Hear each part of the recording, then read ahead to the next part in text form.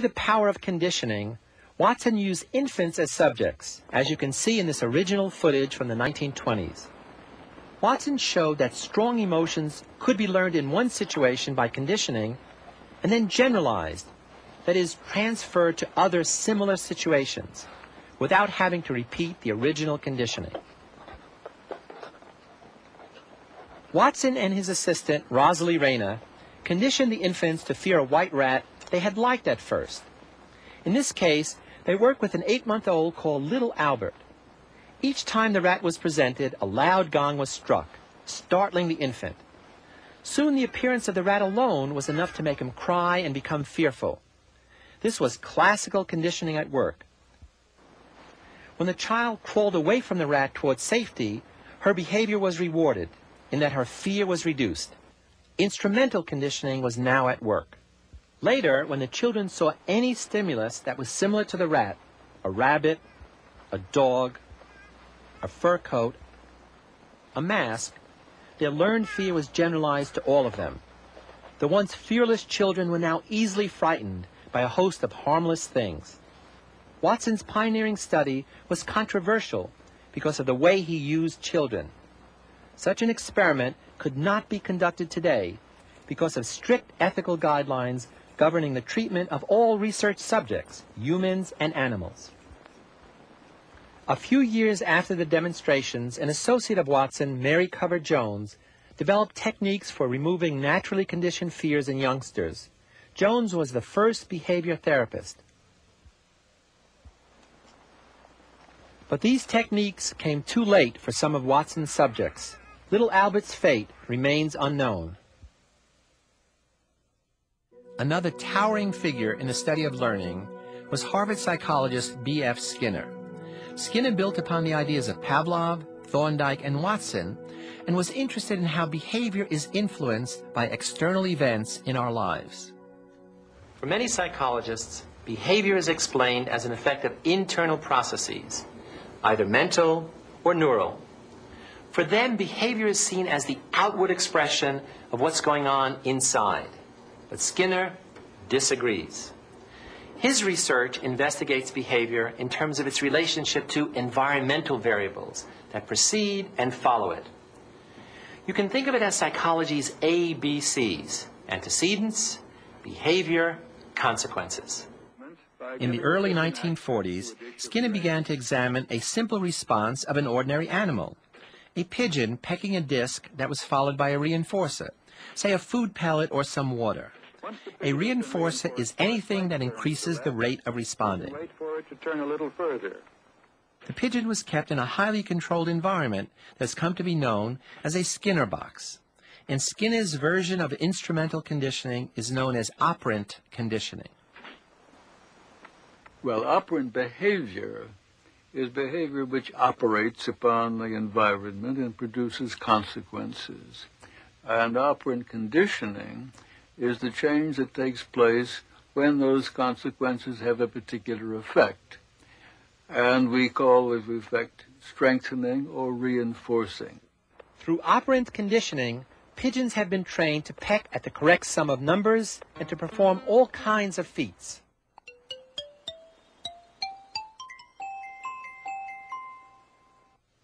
Operant conditioning is one important aspect of learned behavior. But in Skinner's view of psychology, all learned behavior can be stripped down to the relationships between the behavior, its antecedents, and its consequences. He believes that any behavior that is followed by a consequence will change in its rate of occurrence in direct relationship to changes in the consequence. Today, psychologists are pushing the limits of operant conditioning beyond the Skinnerian model. Behavioral psychologist Howard Rachlin at the State University of New York looks at ways to enable self-control by using operant conditioning methods. Self-control, like everything else, is a little bit of environment and a little bit of genes, like everything.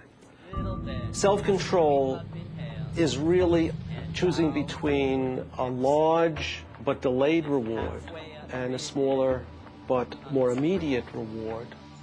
A larger reward is more abstract and difficult to put your finger on, like good health. Things like good health or even job satisfaction are often the result of long-term behavior in which delayed gratification was consciously chosen. Okay. Rachlin looks at how patterns of behavior act as a reinforcement for self-control. Like Skinner, Rachlin also uses pigeons to test his ideas. In the first condition, a pigeon chooses between a small immediate reward and a larger but delayed reward. If it pecks the green button, it gets a small amount of food right away. If it pecks the red button, it has to wait a few seconds, but it gets twice as much food by pressing the red button. Pigeons are very impulsive. Almost 100% of the time, pigeons will go for the smaller, immediate reward.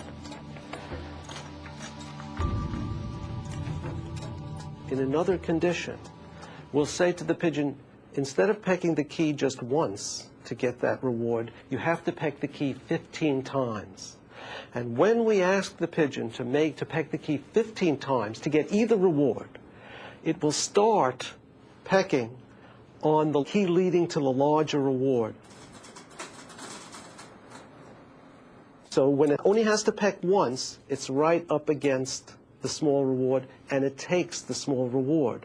Whereas when if you put the pigeon back and it has to peck 15 times, it sees the rewards as they are. And seeing the rewards as they are, it starts pecking the key that leads to the larger reward. Rachlin demonstrates that following the 15th peck on the green button, the pigeon receives a small but immediate reward of food. The case is different with the red button. After the 15th peck on the red button, the pigeon has to wait an additional four seconds, but the reward is larger.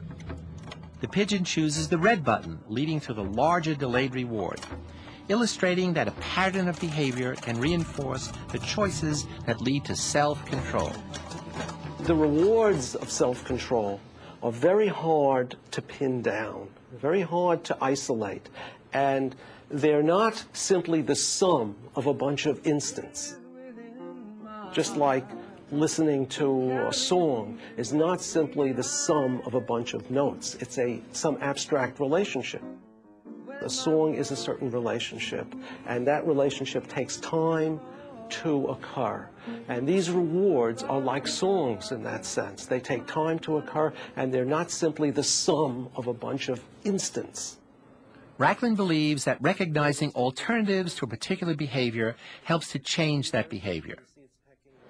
For instance, if we want to stop smoking, it is not enough to take away the cigarettes. You need to reinforce the potentially larger but delayed benefits of not smoking, such as experiencing better health, having more money, and increased social approval.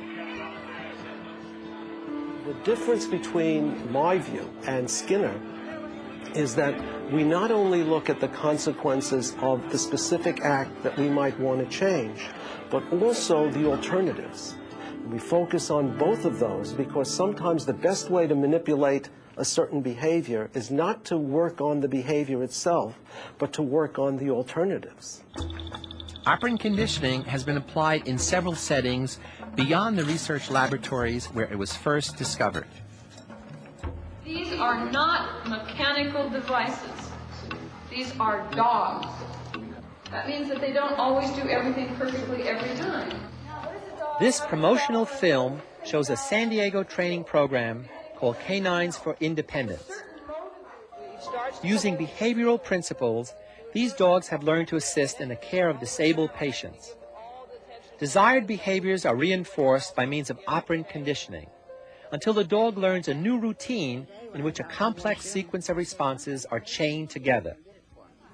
So I got him to jump up on the table, and it took me about uh, three or four times telling him what I wanted. And then he got it and handed it to me. And now he just does it all the time. It is just one command for him to get, to get it. Now I don't have The to go dogs learn to retrieve objects.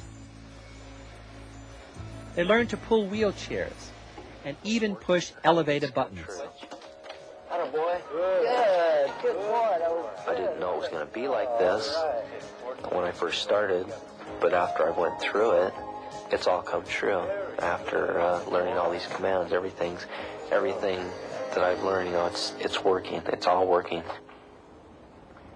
We've seen some of the ways in which individuals learn how to change their situation. But what happens if they learn that nothing makes a difference? What happens if they learn to give up entirely? Can we use conditioning to overcome such learned helplessness? Fortunately, the answer for many distressed people is yes. This woman is undergoing behavior therapy for agoraphobia. Agoraphobia, the fear of public places, imprisons untold numbers of people, mostly women, in their homes. That's good. Just take that deep breath. That's good. We're going to have one more step. The unique feature of this behavior therapy is its pragmatic focus on directly changing the problem behavior, the individual's symptoms.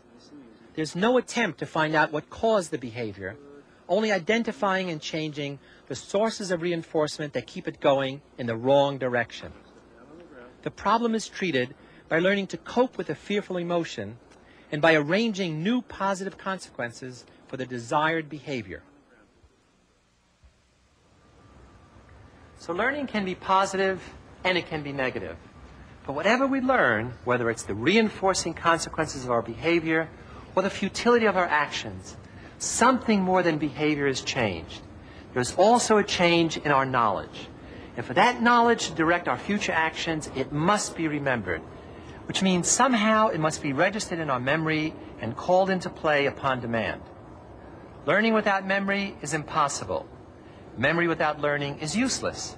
So next time we'll look at how we remember and why we forget. I'm Philip Zimbardo.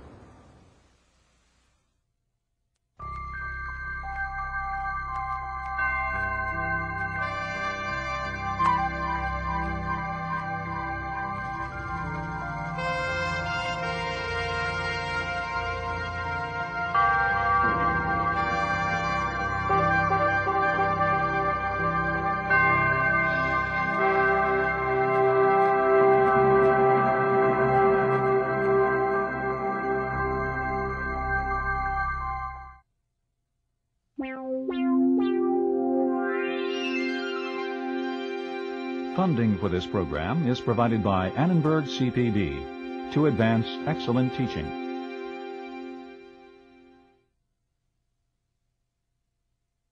For information about this and other Annenberg CPB programs, call 1-800-LEARNER and visit us at www.learner.org.